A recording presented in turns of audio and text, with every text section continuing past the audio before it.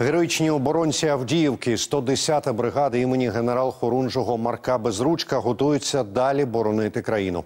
Підрозділ доукомплектовують, бійці постійно проходять вишколи.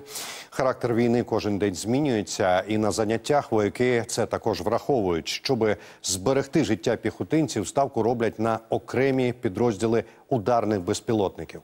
На одному з тренувань вдалося побувати нашій знімальній групі саме для цих хлопців. Команда подробиць просить підтримати збір на нічний квадрокоптер Mavic 3T. Реквізити далі у сюжеті.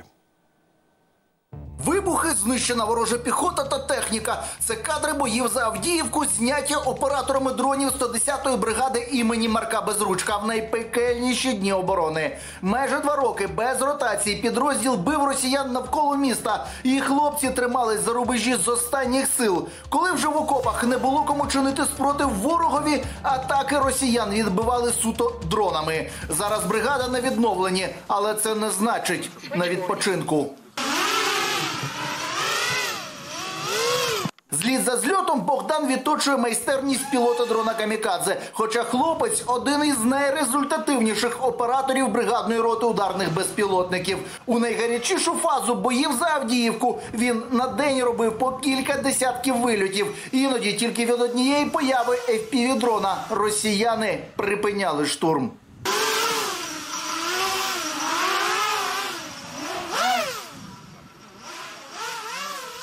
Відбивали впівдронами штурми.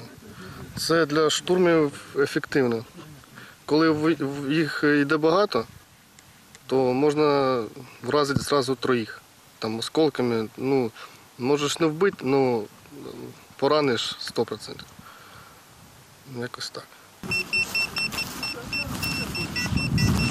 Володимир Новачок в пілотуванні в роту ударних БПЛА він перевівся менше місяця тому. Для допуску до справжніх польотів Володі довелось закінчити курси операторів FPV, скласти іспит на симуляторі і тільки після цього почати тренування на полігоні. Каже, про пілотування дроном мріяв давно, але все не наважувався.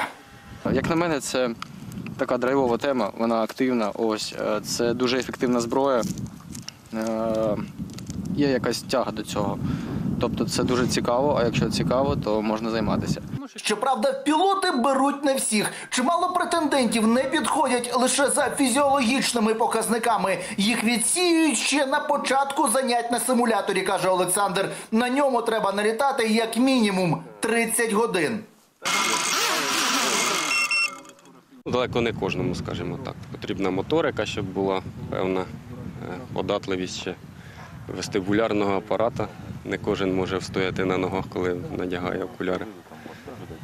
Ну і бажання, головне, щоб був стимул у людини.